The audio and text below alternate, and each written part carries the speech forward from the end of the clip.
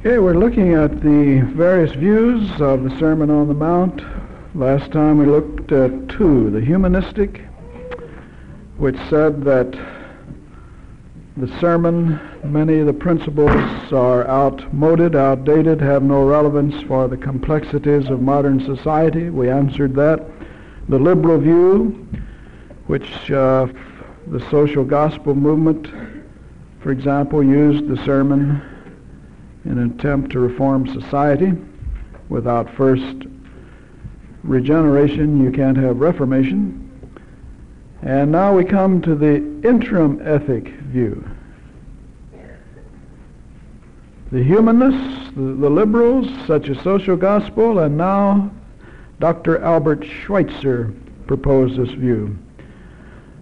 A lot of people were really affected, influenced by this man who was neo-orthodox, liberal. Everyone thinks a great Christian, but he wasn't. He did what he did for self-righteousness' sake. But uh, I don't care to go into Albert Schweitzer. Uh, you listen to this view and you'll get an idea of his view of Scripture.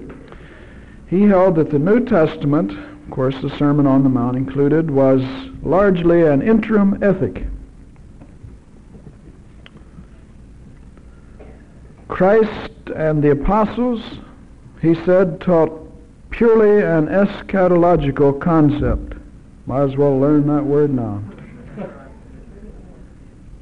Es, yeah, I will. Uh, let me spell this word. Eschatological, just like it sounds. That word means end time events, things dealing with end time. In fact, in biblical theology, we'll be studying eschatology. That'd be the last thing we study in biblical theology. So he held that Christ and the apostles taught purely an eschatological concept. That is, that the end of the world was near. That's all they had on their mind. The end of the world was near. Schweitzer held that they did not teach principles for permanent morality and conduct in the world. Sermon on the Mount does not teach permanent principles of morality and conduct, but temporary principles to be used only in the short interim between the ascension and Jesus' almost immediate return. It was to be used in the short interim between the ascension and the second advent. That the Sermon on the Mount, as well as the New Testament, does not set forth permanent principles of morality, but they are temporary ones to be used in the short interim. He, like others who hold this view, said that Jesus and the apostles were wrong. That it's been 2,000 years, so it didn't work out. Jesus, he said, thought he was coming back right away. And of course, they'll cite you scriptures, you know, like, be ready, the Son of Man comes an hour when you know not, and so on and so forth. He said the sermon superhuman righteousness. The sermon teaches superhuman righteousness. The sermon super, superhuman righteousness, the call to love your enemies, the command not to resist evil, the call to renounce the worldly goods, the world's goods, command against divorce, not taking an oath, not going to court, he said all this was impossible in permanent practice, so it was only for the interim.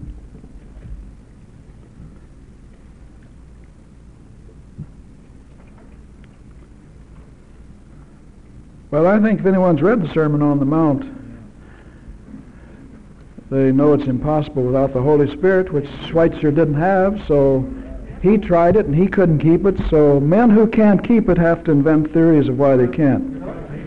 That's why the fundamentalists who are non-charismatic either put it at first advent or second, but there's nothing for now in the sermon for us. Well, we reply to this uh, erroneous view that Jesus and the apostles, apostles do teach the imminent return of the Lord.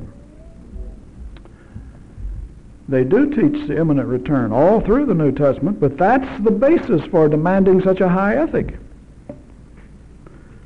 That's the basis for such a high ethic in the sermon, because you know not the hour when he returns, so you better live like you'll be ready, is his point.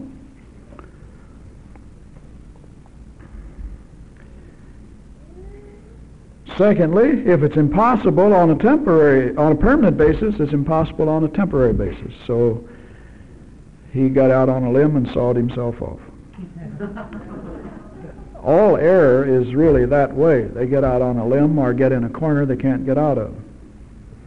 Like hyper-Calvinism. By logic, hyper-Calvinism can put you in a corner and you can't get out.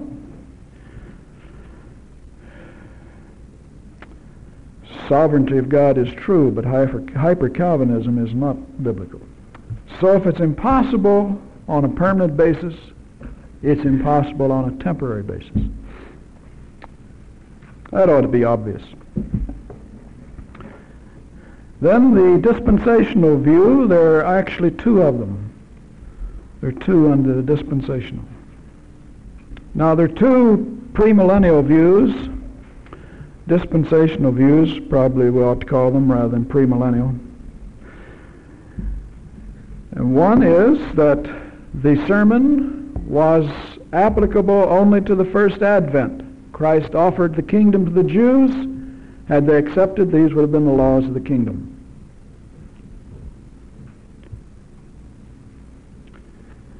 Second view is just the opposite, of course, are the other swing of the pendulum, it's the laws for the millennium. That, and so it's the second Advent view.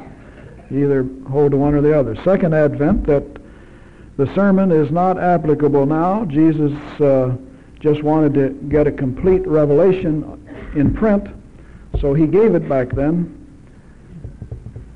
And we're to carry it for 2,000 years or however long it is before he returns, and there'll be the laws for the millennial kingdom. They don't say it that way, but that is a little ridiculous to think that he would give such heavy spiritual teaching that has no application at all until the millennium. Now, a proponent of the first Advent pew, view is Dwight Pentecost. Dwight Pentecost. Familiar to any fundamentalists, of course. Dwight Pentecost who wrote Things to Come. Very good book if you know how to take the meat off the bones, not choke on the wrong doctrines. It's a good book with with reference to source material for end time events. Things to come. Uh, but like any book in your library, you have to use discernment.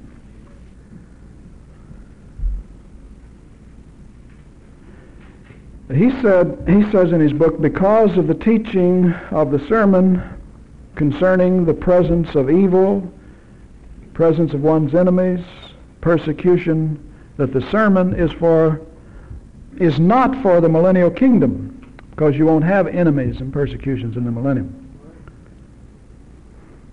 But it applied to Israel only at the time of Christ when he offered them the kingdom at the first advent. Of course, they rejected him, as you know, and that made the sermon of no effect.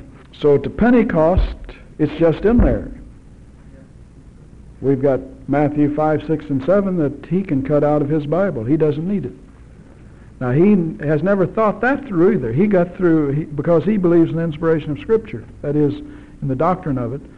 But he got himself out on a limb and sawed it off. Because if it has no application and it's in the New Testament, something strange. Now, some of the Old Testament ceremonial and civil laws would have no application. All right, the second Advent view. That's still dispensational. And an example here would be L.S. Chafer.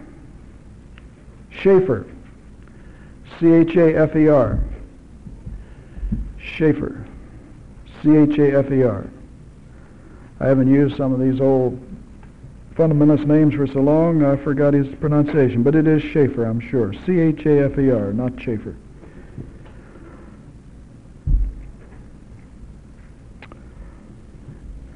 That the sermon has no relevance for the present age, but it's a code of ethics that will prevail in the millennial kingdom.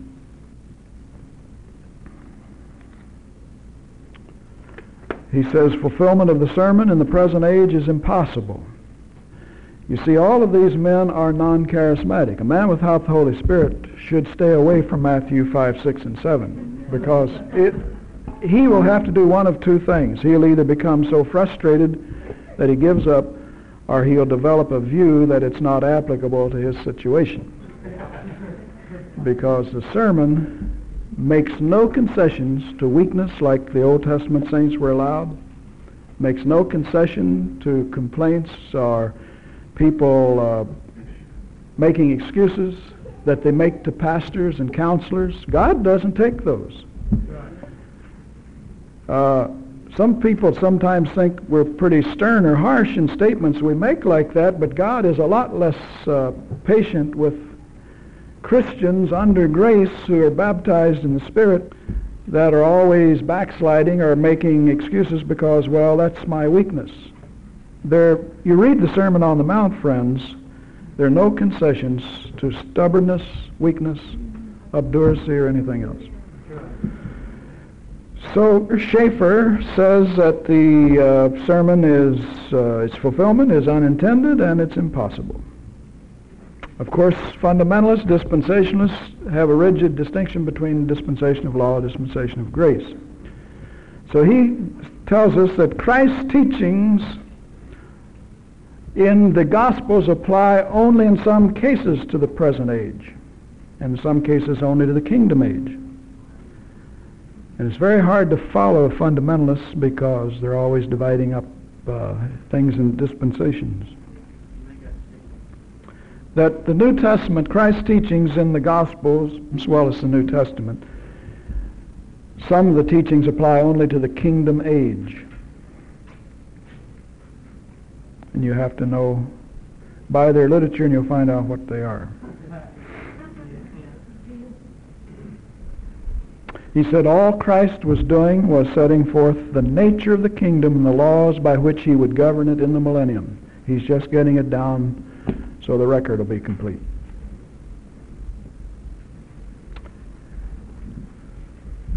He was showing us the nature of the kingdom and the laws that would govern it in the millennium.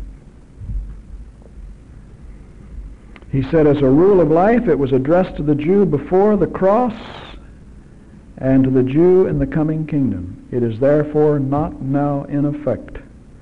Systematic Theology, volume, volume 5, page 97 and following. Quote. it's not now in effect. So we can skip the sermon and go on to other things. But the thing is, that isn't all there is to be said. He says, and the extreme dispensationalists say that, that the Beatitudes, the sermon, is legalistic, and that the Beatitudes is a system of works for the Jew in the millennium. Yeah. Blessed are they that do this and that and the other. He says, you see, you have to do certain things to be righteous. And he says, we already have obtained righteousness by grace and that the Jew in the millennium, this is uh, be a system of works because he was under a covenant of works, and it'll be restored in the millennium, and that the Beatitudes and the sermon seem to be a pattern of works necessary to attain to the kingdom. Well, we reply to that with a few remarks. One is the Jews never were, never shall be saved by works. You'd think anyone that would bother to write a book would know that much he's ever read the New Testament. You're never saved by works. And there's no higher spiritual truths and principles set forth in all the Bible than in Matthew 5, 6, and 7, the sermon. How could he call that a system of works when they turn right around and say it's impossible, nobody can keep it? The spiritual truths are so high, you see the lustful glance, the anger, Those are principles, much higher than the system of works that he talks about. Jesus says, if you're angry with your brother, you've violated the commandment, thou shalt not kill. Now that's a higher principle than the law, thou shalt not kill. It's dealing with the motive, with the heart, with the attitude. And again, we can say the New Testament contains all the teachings of the Sermon on the Mount. That can easily be demonstrated, and we probably will when we look at the sermon. But you can find all of the teachings in the sermon all through the New Testament, almost word for word in many cases. Therefore, if the sermon is legalistic, then the whole New Testament is a covenant of works. It's ridiculous when Jesus said, uh, tells us, thou shalt not tell a lie, that that's works if you don't tell a lie. Again, it pays to know Old Testament theology because we'll see that righteousness is doing something. You do righteousness in the Old Testament. And so when God commands us to do something or not to do something, that isn't works. It is proving that you are justified by faith because you do righteous works. Otherwise, James 2 applies, and your faith without works is dead. You just talk faith, talk Jesus, talk salvation, but you don't have it. No one will ever convince God that they're saved who does not have a fruitful life. Churches are filled with people who are not in the kingdom. Wait and see. If that offends anybody, wait and see. They're calling him Lord, but they're just spectators in Christianity. They're not doing anything to prove righteousness. And that isn't works.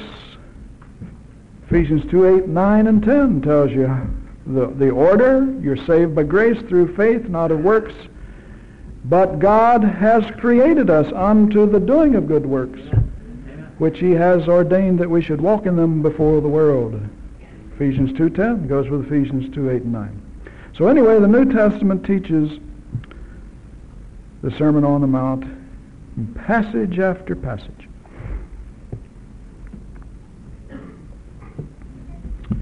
So if the sermon isn't applicable to, for today, then we can ask certain questions. Is there a single teaching in the sermon that a Christian can ignore and still call himself a Christian?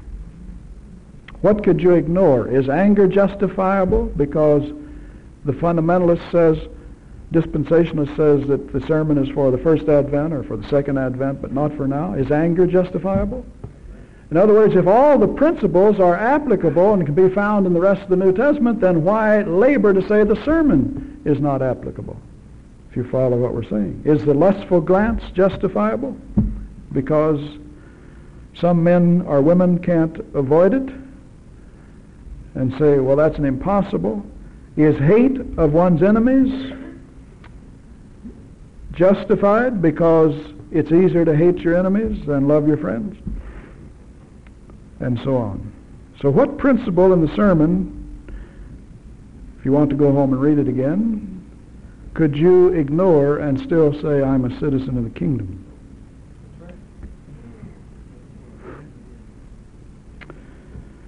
So what we have is not a legalistic teaching, but the spiritual nature of the sermon is its own witness that it's the highest revelation in all the Bible of how a Christian is to live under grace. See, Jesus even contrasts the legalistic, that is the legislation of the law, with his teaching in the sermon. Over and over he says, You have heard in the law, but now I say to you. And so he gives us the inner meaning of the law, the spiritual intention of God. You know, one couldn't miss that if they would just bother to read the New Testament that he's actually doing what they say that sermon isn't teaching. He's actually contrasting the law with his teaching, his principles. You've heard that thou shalt not kill, but I say unto you, if you're angry with your brother, you're in danger of hellfire. John makes it a little plainer in 1 John. He says you're a murderer if you hate your brother. Now that's scripture. That's the same John who recorded John 3.16. You're trusting. You can't believe him in John 3.16 and not believe him in 1 John when he says, if you hate your brother, you're a murderer. Where did he get that? From Jesus in the sermon.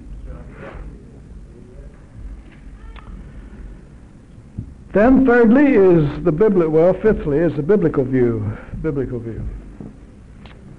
What I call the biblical present age view. This is the one I taught in a seminary as being the obvious one. In fact, I didn't know there was any other views until I got in seminary, got to reading, and so on. It's amazing what you can discover that the Bible is teaching after you get to biblical, uh, after you get to Bible school or college or the seminary. Just by reading the Sermon on the Mount, it never occurred to me not to believe it and try to put it into practice. Oh, yes, it was difficult because without the Holy Spirit, it's quite frustrating. Every time you get your little house all built and your life in order, something happens and all comes tumbling down. what is it? Why? And so on. 14 years of that, and finally the Lord, in His mercy and grace, said, You need the baptism of the Holy Ghost. That's, that's still valid for today then when you receive the baptism, you find out why you couldn't keep the sermon. Because you need the empowering of the Holy Spirit. Yes, you do. That's why he said we are to have it. It's to you, Acts 2, 38 and 39, to your children and all them that are far off, even as many as the Lord your God shall call. The baptism and the tongues are for them. And anyway, as I was saying, it never occurred to me not to uh, think it was applicable as I felt Matthew 1, verse 1, all the way through Revelation 22, and what's the last verse? Anybody got it? Anyway, 22, 21, I thought it was. All the way from Matthew 1, 1 to Revelation 22, 21, I thought was applicable. Until I read all these views. And I had further reason to know that the sermon was for today because uh, I applied Matthew 6.33. Been walking on that going on 24 years. Seek first the kingdom of God, and you'll never have to take a thought for material needs. I think I've said in your present once, presence once or twice, I wouldn't know what it is to take thought. I wouldn't know what it is. I walked on that through college and seminary when everybody I met said it wouldn't work, including my family. Not my immediate family, but my relations. And so it comes as a surprise to me if Matthew 6.33 still works and God provides my material needs abundantly as he says he will if we trust him, why the rest of it wouldn't work? Of course it works.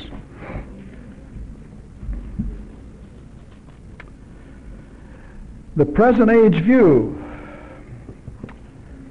The ethical requirements of the Sermon on the Mount are the highest expression of morality in the Bible. We want to make certain statements, and that's one. The ethical requirements of the Sermon on the Mount are the highest expression of morality and conduct in the Bible.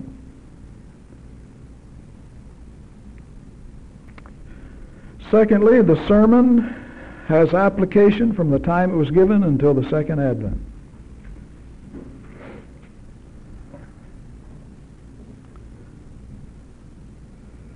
Sermon is applicable from the time Jesus sat on the mount and gave it until the second advent.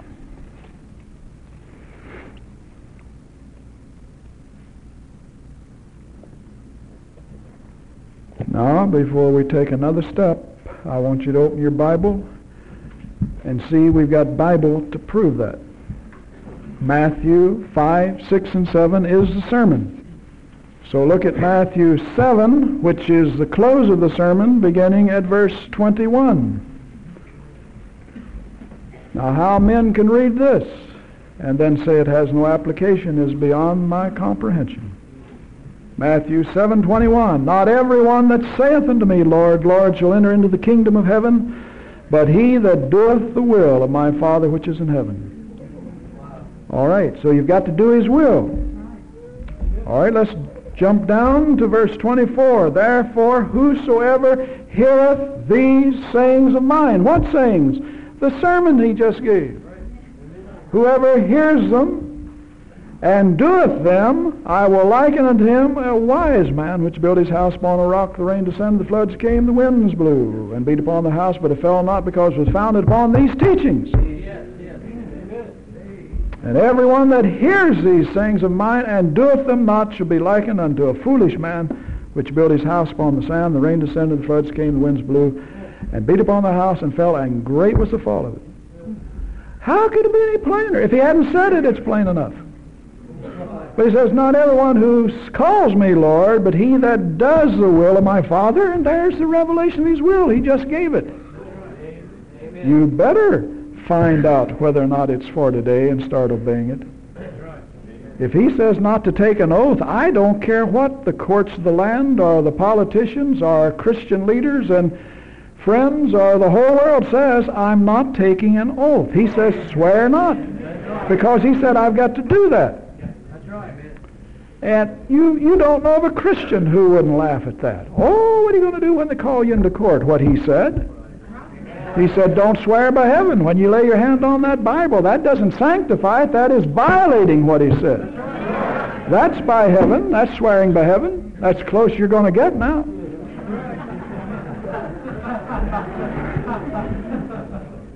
So he makes no concessions to our willingness to uh, compromise or follow the principle of expediency and do what everyone else does or want to avoid ridicule and laughter. If he says it, when he says if they take your coat, give them your cloak also, he means do that. And he tells you to love your enemies, to pray for them, to do good. It's do righteousness to your enemies. So that you can be the children of your Father in heaven. In other words, if you don't do it, you're not. Well, that's what he says. Not everyone that says to me, Lord, Lord, is in the kingdom, but he that's doing these sayings of mine. And he's the one that builds his spiritual house on a rock. And the ones who don't and those who teach not to do it are in worse judgment because James chapter 3 tells us, don't many of you out there seek to be teachers because we have the greater judgment, the greater condemnation. Oh, I'd love to teach and have all those people sitting out there and absorbing every word I say and all. Well, you better think twice. You better be sure what you're teaching. Amen. Because we have the greater judgment. It's better to preach a sermon twice than to make up one that isn't based on the Word. That's right. Say, folks, I just didn't get a revelation this week. I worked and labored and prayed, but you're going to hear what we had last week, and I don't think you've obeyed it yet anyway, so let's... Which would probably be true. Because most would plead even if they had the right intention, I didn't have time. So uh, it would be like someone said about our tapes, and we say this to make a point, because it could be true of your messages too, probably is that we listen to those tapes 35, 40 times, each one, till we glean everything from it before we go to another. Well, you might be surprised what you hear even the second time. Someone said, well, what about the 10th? Well, by the time you get to the 20th, you may know what's on the tape and be able to put it into practice. That's why we've got four Gospels that say essentially the same thing. That's why Jesus over and over repeated himself. One woman said to me, You're repeating yourself. I said, I know it. That's precisely the method of teaching in the Bible. Repetition, repetition, repetition. But of course, what she meant was it wasn't fitting her ideas of what she wanted to believe, and it was a little rough on her spiritual sensibilities because she had lost some friends over coming to our church, and I was to blame because I was coming on too strong, they said. I said, is it the word? Yes, but we can't live it. Not that way. Well, anyway, Jesus said, I didn't make that up. You just saw it. If you didn't bring a Bible, you heard it. Faith comes by hearing the word. That if you do these things, that I've just said, then you're children of the kingdom. So that means that as he gave it and then finished the sermon, I want you to obey these things, or else it's just words calling me Lord. You're not going to get into the kingdom by calling me Jesus, Lord, Savior, going to the altar, weeping tears. That's all a part of salvation, but if it stops there, he that enters the kingdom is he that does these things. We better pray for the grace to turn the other cheek or to give up the cloak or coat, coat or whatever it is and not run to court because somebody, quote, is suing us, unquote. That's a part of the blessing. He promises you persecution. Part of the preparation is persecution, John 15. Acts 14:22. We must by much tribulation enter the kingdom. So why run from the pathway? It's by tribulation. What's the way? You say, look for the road sign that says tribulation and trial. You're on the way. that's so hard to find, uh, somebody says. Well, that's because it's narrow. And straight is the gate. Well, anyway, friends, our flesh may not like to hear it as that woman's flesh didn't, but uh, it's true nevertheless. Brother Freeman, does raising your hand when you take an oath have anything to do with swearing if you use the word affirm? Well, you don't have to raise your hand to affirm. That would be taking an oath, yes. So you're swearing by heaven. That's what that signifies. You never point that way, unless they're Satanists. But the very fact you raise your hand, put it on the Bible, that's revelation from heaven, then you swear by raising the hand, that is calling on heaven, what he said not to do. See, they didn't carry Bibles around in their courts those days, or he could have made it more specific. But unregenerates calling upon a Christian to tell the truth, well, we're going to be dealing with that in the Sermon on the Mount anyway, when we get to it. But unregenerates in court, and most of them are, exceptions only prove the rule, calling upon you to lay your hand on the Bible to swear you'll tell the truth, why people do that every day and perjure themselves and lie. That, that doesn't guarantee you're going to tell the truth. That only, that only sanctifies in the eyes of the jury the fact that you may tell the truth. And so a criminal, a criminal, he uses that as a psychological advantage. He wouldn't, uh, only, only a foolish person like a disciple of Jesus would refuse to take an oath and somebody says, well, what if? Uh, what if they say, I'll put you in jail? Then that's a part of the privilege of obeying the Lord. But you can thank God that you're living in a country where they will allow you to affirm.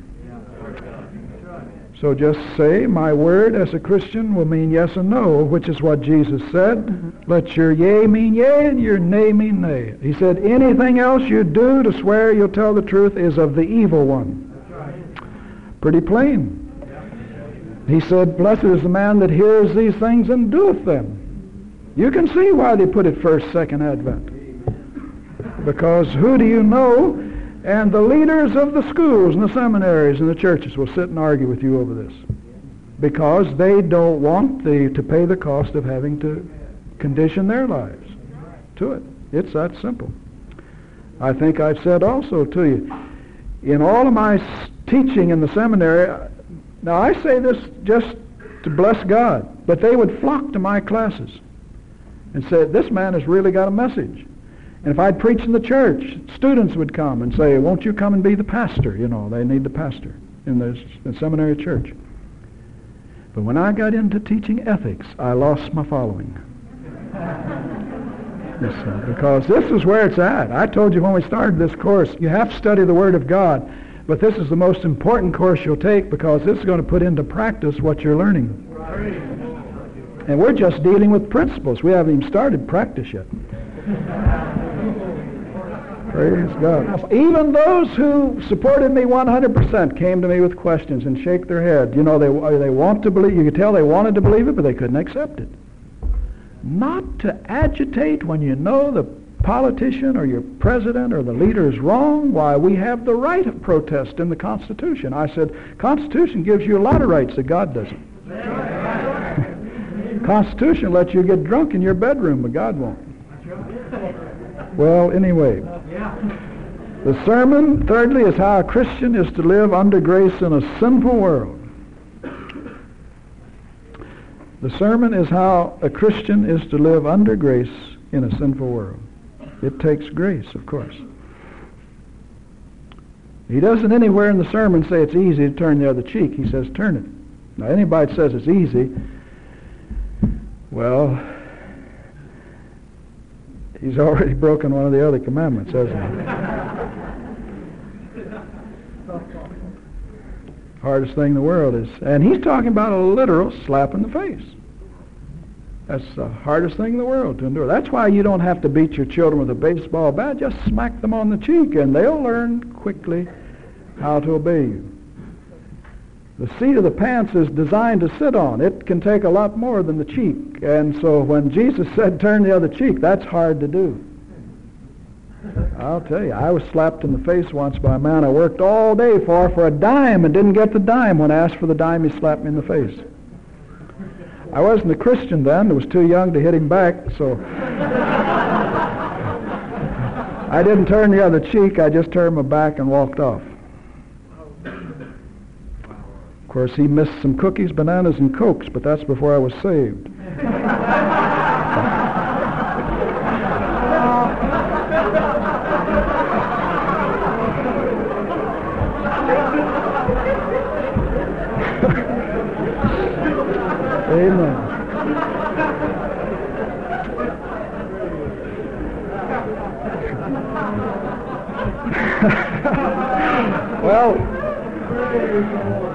wouldn't rec- I wouldn't recommend you go and do likewise, but uh, he didn't he didn't gain anything. He was unregenerate, and so was I. But I got paid. And I got paid in other ways. The Lord paid me too for that.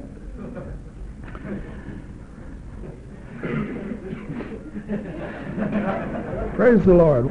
In the millennium, in the millennium, righteousness and peace will prevail. On the basis of that, in the millennium, righteousness and peace will prevail. On the basis of that, I want to show you that the sermon is not for the millennium, but for now. It's very evident from the sermon itself. In the millennium, peace, prosperity, righteousness will prevail. There'll be no war, no sin, so on. And so from the sermon itself, if you'll turn there, I'll show you that it's not for the millennium. It has to be from for now for the for the very uh, reason that Jesus, in his statements, assumes evil and things are present. For example, unrighteousness is present. Now you can write these and then we'll read them. Unrighteousness is present. Matthew 5, verses 6 and 8. Now that couldn't be in the millennium. Unrighteousness is present. Matthew 5, verses 6 and 8. Blessed are they which hunger and thirst after righteousness, they shall be filled. In other words, only those few who are searching for it. Obviously, we're in a time when not everyone is. And verse 8, Blessed are the pure in heart, for they shall see God. Strife is present. Strife and war present. Verse 9, Matthew 5, 9. Blessed are the peacemakers. Well, you won't be making peace during the millennium, obviously. They should be called the children of God. Persecution is present. Whenever the sermon is applicable, persecution is present. Verses 10 to 12. Blessed are they which are persecuted for righteousness' sake, for theirs is the kingdom of heaven. Blessed are ye when men shall revile you and persecute you, and say all manner of evil against you falsely for my name's sake. Rejoice and be exceeding glad, for great is your reward in heaven, for so persecuted they the prophets which were before you. Well, very obviously it could not apply to the millennium. Corruption and moral darkness are widespread. Whenever the sermon is applicable, these things are true. Corruption, moral darkness widespread, verses 13 through 16. Where there he tells us to be the salt of the earth. See, salt has a preserving influence. So we as Christians are to be a preserving influence in a sinful world. He tells us to be the light of the world, let our light shine. So corruption and moral darkness are widespread. Christians are to be salt and light in such a situation. Divorce and adultery are practiced, verses 31 and 32. It has been said, Whosoever shall put away his wife, let him give her a writing of divorcement. But I say to you that whosoever shall put away his wife, saving for the cause of fornication, causes her to commit adultery. And whosoever shall marry her that is divorced committeth adultery. Now, you won't have that in the millennium. I, I don't understand how people can read the sermon and say it applies to the millennium when, in, when they're writing on the millennium, they tell you all about the peace and the righteousness and all that prevails.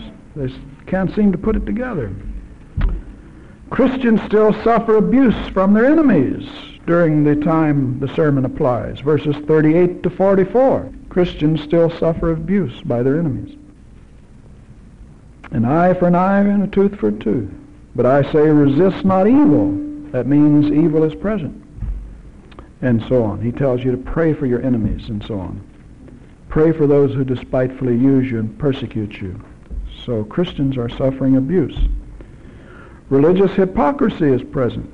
Matthew 6 1 through verse 18.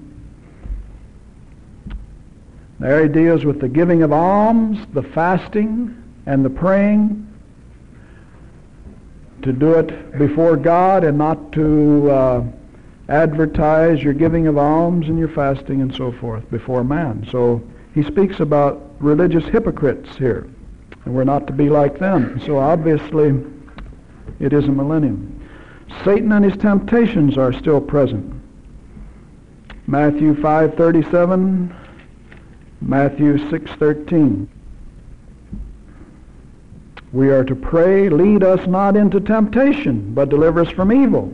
Well, you certainly wouldn't be praying that in the millennium. So the tempter is still present. Jesus is still absent, and he won't be absent in the millennium. Jesus is still absent.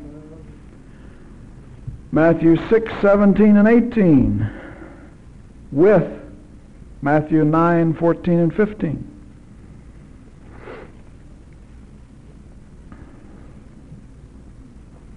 But thou, when thou fastest, anoint thine head and wash thy face, that thou appear not to men to fast, but unto thy Father which seeth in secret, thy Father which seeth in secret shall reward thee. Now, he says when you fast. You won't be fasting in the millennium because he tells us we won't over in chapter 9, verses 14 and 15. We only fast while the king is absent. Then came to him the disciples of John, saying, Why do we and the Pharisees fast oft, but thy disciples fast not? They're asking this of Jesus. And Jesus said, Can the children of the bridegroom mourn as long as the bridegroom is with them? But the days shall come when the bridegroom shall be taken away from them, and then they will fast. So he says in the sermon, when you fast. That means he's absent. Because he says we don't fast when he's present. Why would you fast when he's present? They didn't fast at the first advent when he was present. They're not going to do it at the second. You better believe it. They'll be feasting. He says, I'll, I'll gird myself and come and, and you sit you down and come and serve you in the kingdom. Hallelujah. He's going to sit us down with Abraham and Isaac and Jacob at a big table. That's what he said. Materialism still competes with God for the Christian's allegiance. Materialism still competes with God for our allegiance.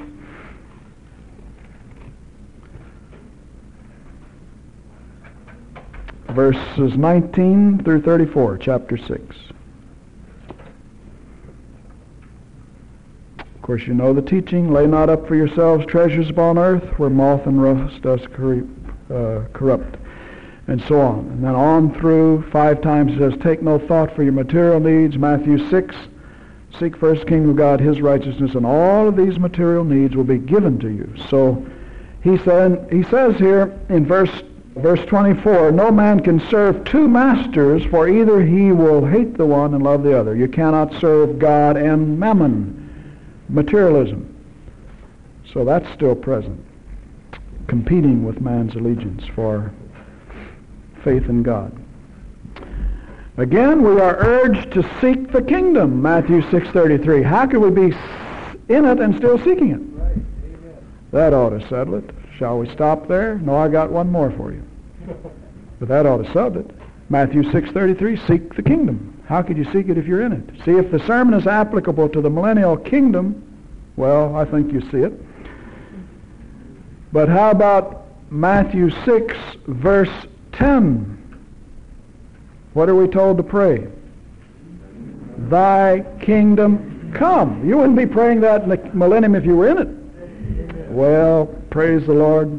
I hope all you visitors believe in the millennial kingdom because we're not trying to prove it here today. That's taught all through the Word. That Jesus will reign and rule on earth.